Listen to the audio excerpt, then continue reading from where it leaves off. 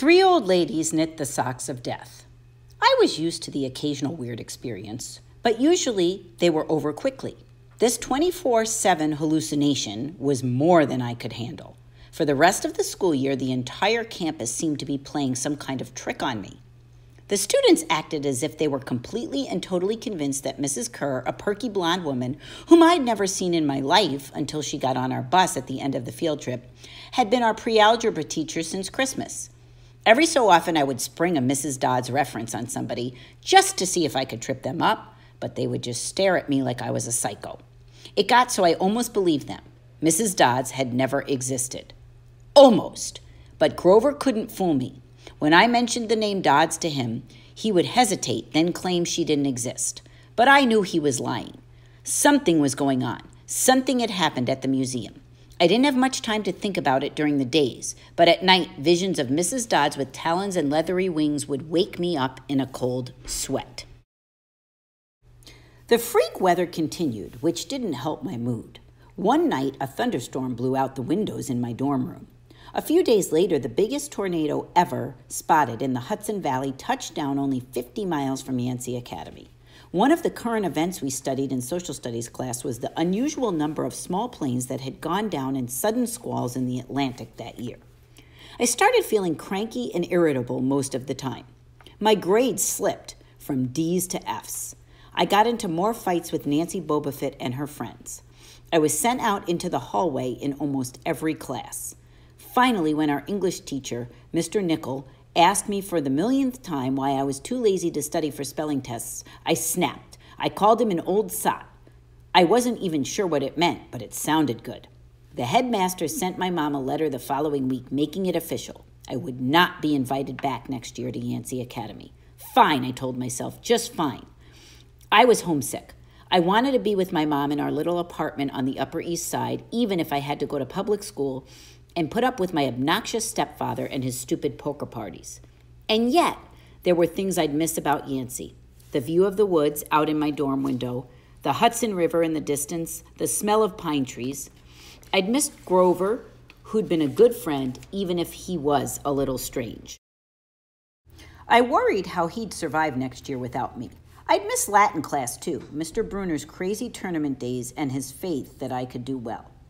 As exam week got closer, Latin was the only test I studied for. I hadn't forgotten what Mr. Brunner had told me about this subject being life and death for me. I wasn't sure why, but I'd started to believe him. The evening before my final, I got so frustrated I threw the Cambridge Guide to Greek mythology across my dorm room. Words had started swimming off the page, circling my head, the letters doing 180s as if they were riding skateboards. There was no way I was going to remember the difference between Chiron and Charon or Polydectes and Polydeuces and conjugating those Latin verbs. Forget it. I paced the room, feeling like ants were crawling around inside my shirt. I remembered Mr. Brunner's serious expression, his thousand year old eyes. I will accept only the best from you, Percy Jackson. I took a deep breath. I picked up the mythology book. I'd never asked a teacher for help before. Maybe if I talked to Mr. Brunner, he could give me some pointers. At least I could apologize for the big fat F I was about to score on his exam. I didn't want to leave Yancey Academy with him thinking I hadn't tried. I walked downstairs to the faculty offices. Most of them were dark and empty, but Mr. Brunner's door was ajar. Light from his window stretching across the hallway floor.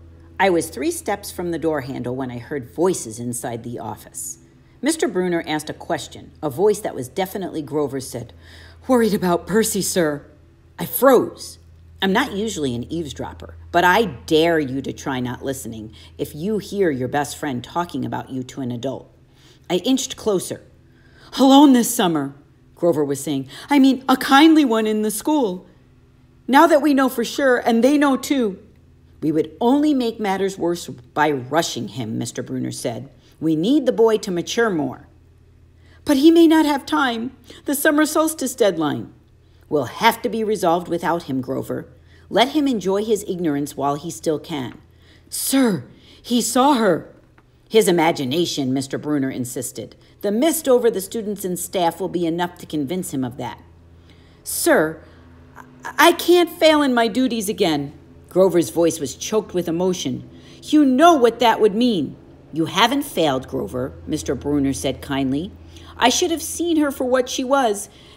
Now let's just worry about keeping Percy alive until next fall. The mythology book dropped out of my hand and hit the floor with a thud. Mr. Brunner went silent. My heart hammering, I picked up the book and backed down the hall. A shadow slid across the lighted glass of Brunner's office door. The shadow of something much taller than my wheelchair bound teacher, holding something that looked suspiciously like an archer's bow. I opened the nearest door and slipped inside. A few seconds later, I heard a slow clop, clop, clop, like muffled wood blocks. Then a sound like an animal snuffling right outside my door. A large, dark shape paused in front of the glass, then moved on. A bead of sweat trickled down my neck. Somewhere in the hallway, Mr. Brunner spoke. Nothing, he murmured. My nerves haven't been right since the winter solstice. Mine neither, Grover said. But I could have sworn. Go back to the dorm, Mr. Brunner told him. You've got a long day of exams tomorrow. Don't remind me. The lights went out in Mr. Brunner's office. I waited in the dark for what seemed like forever. Finally, I slipped out into the hallway and made my way back up to the dorm.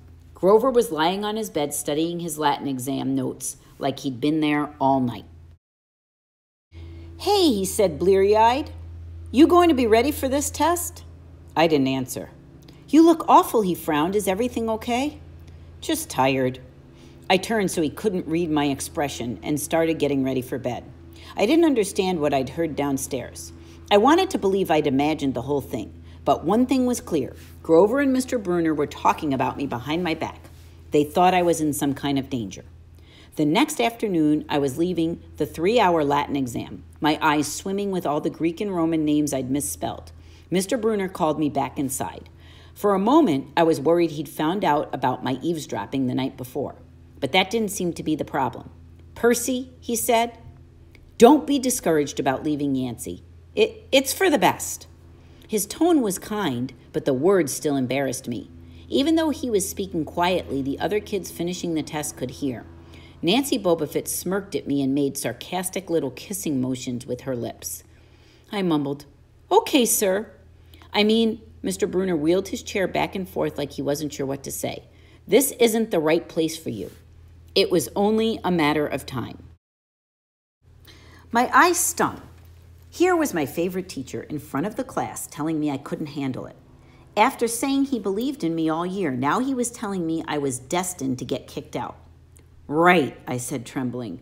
No, no, Mr. Brunner said. Oh, confound it all. What I'm trying to say, you're not normal, Percy. That's nothing to be. Thanks, I blurted. Thanks a lot, sir, for reminding me. Percy! But I was already gone. On the last day of the term, I shoved my clothes into my suitcase. The other guys were joking around, talking about their vacation plans. One of them was going on a hiking trip to Switzerland. Another was cruising the Caribbean for a month. They were juvenile delinquents like me, but they were rich juvenile delinquents. Their daddies were executives or ambassadors or celebrities. I was a nobody from a family of nobodies. They asked me what I'd be doing this summer, and I told them I was going back to the city. What I didn't tell them was that I'd have to get a summer job walking dogs or selling magazine subscriptions and spend my free time worrying about where I'd go to school in the fall. Oh, one of the guys said, that's cool. They went back to their conversation as if I'd never existed. The only person I dreaded saying goodbye to was Grover. But as it turned out, I didn't have to. He'd booked a ticket to Manhattan on the same Greyhound as I had. So there, there we were together again, heading into the city. During the whole bus ride, Grover kept glancing nervously down the aisle, watching the other passengers. It occurred to me that he'd always acted nervous and fidgety when we left Yancey, as if he expected something bad to happen. Before, I'd always assumed he was worried about getting teased, but there was nobody to tease him on the Greyhound. Finally, I couldn't stand it anymore. I said, Looking for kindly ones? Grover nearly jumped out of his seat. What do you mean? I confessed about eavesdropping on him and Mr. Brunner the night before the exam. Grover's eye twitched. How much did you hear? Oh, not much. What's the summer solstice deadline? He winced. Look, Percy, I was just worried for you, see? I mean, hallucinating about demon math teachers. Grover. And I was telling Mr. Brunner that maybe you were overstressed or something because there was no such person as Mrs. Dodds, and. Grover, you're a really bad liar. His ears turned pink. From his shirt pocket, he fished out a grubby business card. Just take this, okay? In case you need me this summer. The card was in fancy script, which was murder on my dyslexic eyes, but I finally made out something like Grover Underwood, Keeper, Half Blood Hill, Long Island, New York, 800 009 0009. What's half? Don't say it aloud, he yelped. That's my, um, summer address. My heart sank. Grover had a summer home? I'd never considered that his family might be as rich as the others at Yancey. Okay, I said glumly. So, like, if I want to come visit your mansion? He nodded. Or, or if you need me. Why would I need you? It came out harsher than I meant it to. Grover blushed right down to his Adam's apple. Look, Percy, the truth is, I, I kind of have to protect you. I stared at him. All year long, I'd gotten in fights keeping bullies away from him. I'd lost sleep worrying that he'd get beaten up next year without me, and here he was acting like he was the one who defended me. Grover, I said, what exactly are you protecting me from? There was a huge grinding noise under our feet. Black smoke poured from the dashboard, and the whole bus filled with sm a smell like rotten eggs. The driver cursed and limped the Greyhound over to the side of the highway. After a few minutes clanking around in the engine compartment, the driver announced that we'd all have to get off. Grover and I filed outside with everybody else. We were on a stretch of country road, no place you'd notice if you didn't break down there. On our side of the highway was nothing but maple trees and a litter from passing cars. On the other side, across four lanes of asphalt, shimmering with afternoon heat, was an old fashioned fruit stand. The stuff on sale looked really good heaping boxes of blood red cherries and apples, walnuts, and apricots, jugs of cider in a clawfoot tub full of ice. There were no customers, just three old ladies sitting in rocking chairs in the shade of a maple tree, knitting the biggest pair of socks I'd ever seen. I mean, these socks were the size of sweaters, but they were clearly socks. The lady on the right knitted one of them, the lady on the left knitted the other, the lady in the middle held an enormous basket of electric blue yarn. All three women looked ancient, with pale faces wrinkled like fruit leather. Silver hair tied back in white bandanas, bony arms sticking out of bleached cotton dresses. The weirdest thing was they seemed to be looking right at me. I looked over at Grover to say something about this and saw that the blood had drained from his face. His nose was twitching. Grover? I said, Hey man, tell me they're not looking at you. They are, aren't they? Yeah, weird, huh? You think those socks would fit me? Not funny, Percy, not funny at all. The old lady in the middle took out a huge pair of scissors. Gold and silver, long bladed like shears. I heard Grover catch his breath. We're getting on the bus, he told me. Come on. What? I said. It's a thousand degrees in there. Come on. He pried open the door and climbed inside, but I stayed back. Across the road, the old ladies were still watching me. The middle one cut the yarn, and I swear I could hear that snip across four lanes of traffic. Her two friends balled up the electric blue socks, leaving me wondering who they could possibly be for Sasquatch or Godzilla.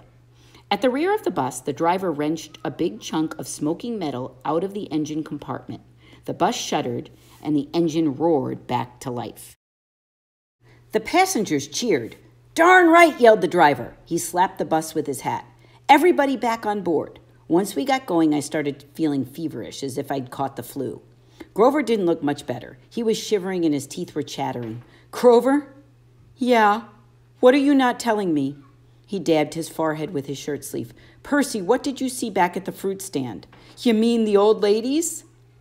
What is it about them, man? They're not like Mrs. Dodds, are they? His expression was hard to read, but I got the feeling that the fruit stand ladies were something much, much worse than Mrs. Dodds. He said, Just tell me what you saw. The middle one took out her scissors and she cut the yarn. He closed his eyes and made a gesture with his fingers that might have been crossing himself, but it wasn't. It was something else, something almost older. He said, You saw her snip the cord? Yeah, so. But even as I said it, I knew it was a big deal. This is not happening, Grover mumbled. He started chewing at his thumb. I don't want this to be like the last time. What last time? Always sixth grade. They'd never get past sixth. Grover, I said, because he was really starting to scare me. What are you talking about? Let me walk you home from the bus station. Promise me. This seemed like a strange request to me, but I promised he could. Is this like a superstition or something? I asked. No answer. Grover, that snipping of the yarn, does that mean somebody is going to die? He looked at me mournfully, like he was already picking the kind of flowers I'd like best on my coffin.